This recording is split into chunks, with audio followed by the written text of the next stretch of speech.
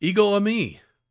Well, here's the correct way to pronounce that, courtesy of howtopronounce.com. Ego eimi. Ego eimi. And those are two ancient Greek words that mean I am or I exist. They form the first person singular present active indicative of the verb to be. Now, if that all sounds Greek to you, well, that's because it is.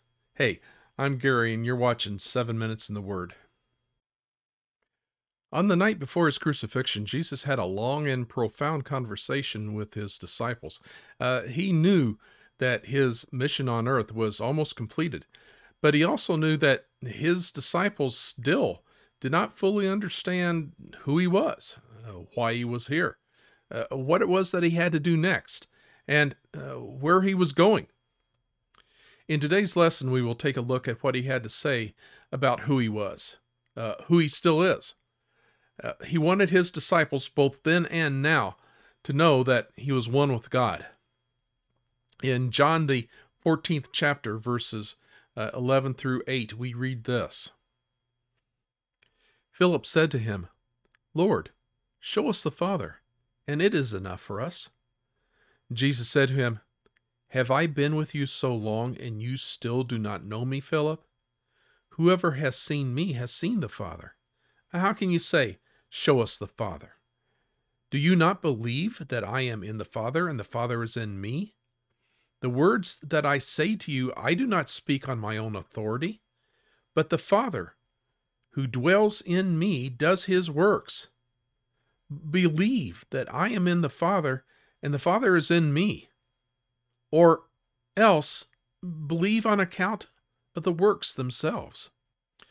In the Gospel of John, more than any other of the Gospels, Jesus uses the two words ego eimi, uh, th- these two words mean I am or I exist.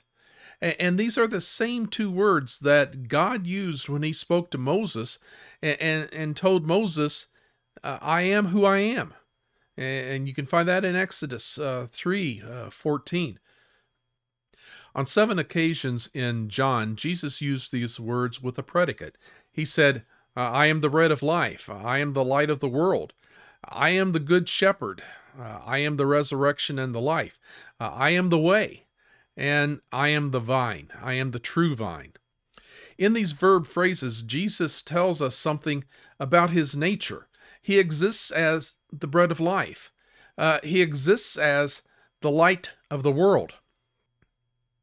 However, on three occasions, Jesus uses these two words, ego eimi, I am, by themselves. Uh, these two words these two Greek words are represented in Hebrew by the consonants YH and WH and pronounced Yahweh. Yahweh is the Hebrew word that our English Bibles translates as Jehovah.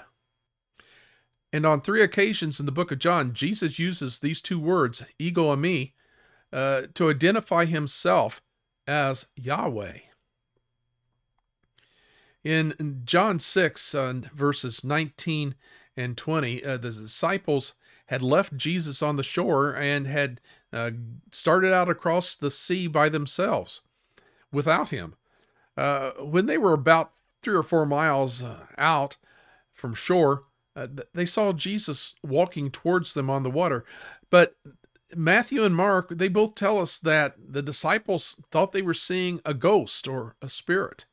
Uh, and this calls back to mind the Spirit of God hovering over the uh, waters in Genesis 1 and, and, verse 2, or possibly in Job 9 and 8, where Job said, Who alone stretches out the heavens and tramples down the waves of the sea?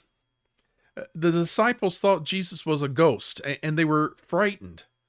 And in John 6, verse 20, Jesus said, It is I do not be afraid. In the phrase, it is I, well, the translators added the word I. Uh, in the Greek, it's only two words ego eimi. Uh, Jesus said to his disciples, I am. Don't be afraid. Now, in chapter 8 of John, Jesus says, I am three times.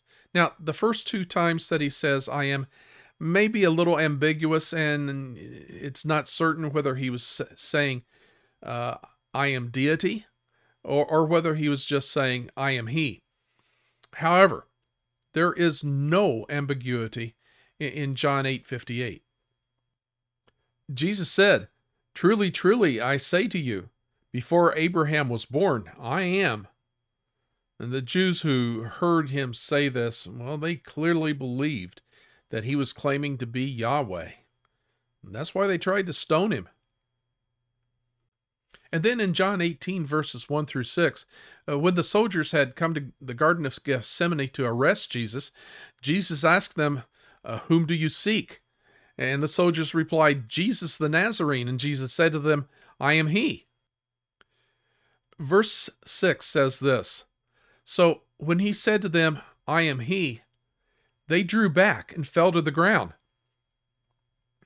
In the phrase, I am he, the word he is italicized. It's italicized to indicate that it was not in the original Greek. Uh, the translators added it. In the original Greek, Jesus said, I am. Uh, it is clear that those who came to arrest Jesus, well, they understood this to mean that he was deity. They understood this to mean Yahweh.